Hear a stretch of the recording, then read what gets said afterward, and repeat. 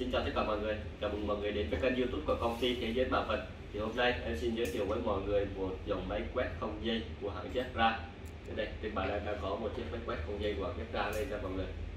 Thì đây là một uh, chiếc máy quét có model đó là DS8178 à, Thì uh, đây là dòng máy quét không dây. Thì ứng dụng của nó thì mình sử dụng rất nhiều ở trong các ờ, uh, gần bán lẻ cũng như là trong việc là kiểm kê kho bãi hoặc là trong sử dụng trong cái sản xuất thì uh, dòng máy quét không dây thì nó rất là tiện mình có thể là cầm và di chuyển đi ờ, uh, các mọi nơi uh, linh động hơn linh hoạt hơn là những cái dòng máy quét có dây. Thì em sẽ điệp qua số, số thông tin cơ bản cũng như một số cái cấu hình của chiếc máy để mọi người có thể là cùng nắm rõ hơn. Đây, mọi người có thể là nhìn thấy uh, đầu tiên về kích thước của nó mọi người có thể thấy là nó cũng khá là nhỏ và phía đầu đây là là đầu quét này các mọi người có thể nhìn thấy là phía trong là có đỉnh led và cũng như là có đèn màu đỏ. Và ra là đây là cái, cái cửa sổ quét của nó. Thì chiếc máy này sử dụng công nghệ quét kịp xử lý đánh có thể quét được mã vạch 1D và 2D hầu như là quét được tất cả các mã vạch QR code, data matrix, code 128, code 39, code EAN 13, code EAN 8 hầu như hết tất cả các loại mã code thì nó có thể là sử dụng và quét được. À, à, mình nếu nhìn bên ngoài mọi người có thể thấy là chiếc máy khá là nhỏ gọn nhìn cầm tay lên cũng khá là nhẹ nhàng ha. Với lại cái cò bấm ở đây á cầm rất là tiện tay này. Mọi người có thể thấy này. Cầm rất là chắc tay. Đây, đây là cái ấn tượng bên ban đầu khi mà mình nhìn chiếc máy này. Bởi vì chiếc máy cũng khá nhẹ chỉ có là 250 gram nên thành ra mình cầm cũng khá là nhẹ tay. Ờ, tiện thì lợi không quá trình mà mình sử dụng. À. thứ hai đó là cái chân đế của nó đi kèm với một cái chân đế thì mọi người có thể nhìn thấy ha đi kèm với một cái chân đế. Chân đế này mục đích là một là mình kết nối cái thân máy với lại là là, là máy tính thông qua cái chân đế. Và thứ hai là chân đế này nó có thể là sạc pin cho cái dòng máy quét này. À, thì nhắc tới pin thì cái dung lượng pin của chiếc máy này lên đến hai hai 2500 mAh. À, thì cái dung lượng pin này thì mình có thể là quét trong vòng 24 giờ là có thể cái thời gian mà sử dụng nó thì mình có thể sử dụng được ha. Tương đương với 65.000 mã vật mình có thể quét được ha. Thì với cái số lượng như vậy đó mới hết pin thì mọi người có thể thấy là một số lượng rất là lớn ha. Trong khi đó mình sạc pin chỉ cần 3 tiếng đồng hồ là có thể sạc đầy so với trò với uh, chiếc pin pin của chiếc máy DS8178 này của hãng Yamaha đó, mọi người có thể nhìn nó chiếc máy rất là tiền gọn gọn ha. Đây là dòng máy quét 2D cho mọi người em nhắc lại ha. Đây là dòng máy quét 2D nên thành ra nó có thể là quét được những cái mã vạch code 1D và 2D phía trên đầu máy nó có cái thanh nó có đèn led để mà báo hiệu cái tín hiệu kết nối cũng như là báo hiệu cái cái, cái dung lượng pin. Đây mọi người có thể thấy là báo hiệu cái dung lượng pin của máy đang còn bao nhiêu phần trăm hoặc là còn bao nhiêu thì nó cũng có báo luôn ha. Thấy rất là hiện đại ha. Đây. Thì anh có thêm một thông tin nữa thì đây là chiếc máy nó thay thế cho chiếc máy DS6878 thì dòng 6878 này là nguyên sản xuất và đã cũ thì đây là một cái dòng để mình thay thế cho cái dòng cũ kia mình có thể tìm hiểu thêm về chiếc máy này.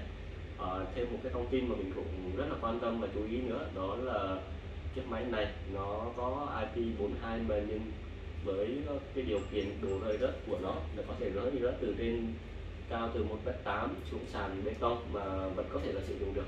Thì đây là là, là, là thông tin đến từ hãng sản xuất và như mọi người biết thì đây là máy không dây nên thành ra tín hiệu để mà kết nối với nó là chiếc máy này sử dụng công nghệ Bluetooth tín hiệu thấp ha version 4.0 thì đây là cái kiểu kết nối của máy đó là kết nối Bluetooth. À, nha mọi người. Cái khả năng quét Bluetooth thì nó hiện tại chiếc máy này trang bị rất là hiện đại và sẽ có hai cái khả năng kết nối xa của nó. Một đó là mình có thể là kết nối trong khoảng tầm 10 mét. À, cái thứ hai là mình có thể là theo thông số của hãng thì trong điều kiện môi trường lý tưởng thì chiếc mạch có này có thể là kết nối trong khoảng cách với là chân đế là lên tới 100 mét cho mọi người, theo cái điều kiện môi trường lý tưởng ha. Thì cái môi trường của mình ờ, như thế nào thì có thể cái khoảng cách nó sẽ thu ngắn lại hơn so với là cái những thông số mà bên hải đưa ra tại vì lúc test thì người ta thường test ở trên cái môi trường ổn định cũng như là lý tưởng, không bị nhựa cũng như không bị ờ, che chắn bởi những cái vật liệu vật thể khác ha. Vậy bây giờ em sẽ test thử cho mọi người xem về cái khả năng quét của chiếc máy này nó như thế nào nha. Thì đây là chiếc máy ứng dụng nhiều trong bán lẻ, nên thành ra là nó có thể là quét được trên màn hình cũng như là quét được. Thì có thể cầm và di chuyển đi xa ha. Em thử test cho mọi người xem ha. Thì em sẽ thử thêm một số, ví dụ như là cái nào vật trang sức rất là nhỏ thế này nhá mình có thể nhìn thấy này đây có một cái mã vật trang sức của em test thử mọi người ha. Nó khá là nhỏ thì bây giờ em sẽ test thử khả năng quét của nó. Rất nhanh và nhạy nha. Máy quét rất là tốt rồi. Này đây quét từ xa gần. Rồi ví dụ như một số cái sản phẩm ví dụ như trên cái ba cốt uh, màu nền màu xanh này rồi còn bề mặt cong này em sẽ test thử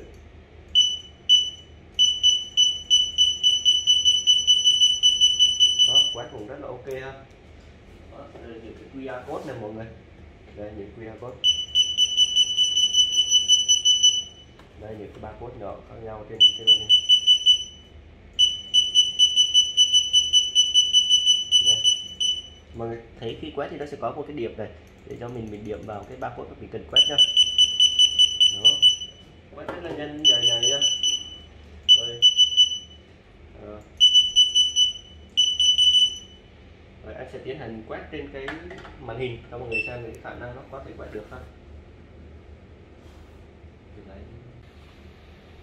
Đây, em sẽ tiến hành test trên màn hình cho mọi người xem về khả năng nó chiếc máy DS8178 này qua trên màn hình ha.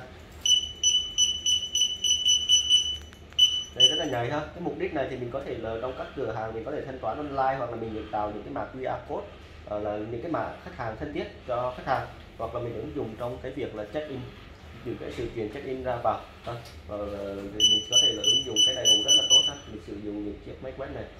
Đây để sạc bằng dây. Để sạc còn với là quét thì có thể là quét thì cái bảo vật này rất là ổn. Thì vừa rồi em đã tiến hành test thử cũng như là giới thiệu cho mọi người một số thông số về chiếc máy quét DS8178 của hãng Jetra này.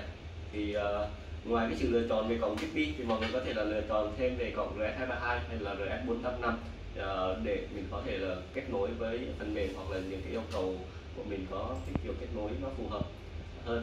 Chứ không nhất thiết là mình sử dụng cổng USB nha mọi người. Với lại thứ hai nữa thì chiếc máy này nếu mà người đi xa quá cái khoảng cách cái chân đế hoặc là có vấn đề gì đó từ cái chân đế với lại máy tính mà chiếc máy này không có quyền dữ liệu lên được thì nó cũng có báo về cho mình để mình biết cái dữ liệu mình vừa quét nó không bảo về à, nó, nó nó nó không có đưa về. Đây mọi người có thể thấy là đèn nó sẽ màu đỏ và nó có tiếng tít khác này. Khác so với lúc này mà em test một quét nó đưa về được cái file nó ha. Thì đây là một kỹ năng rất là tương đối khá là hay đối với dòng máy quét này.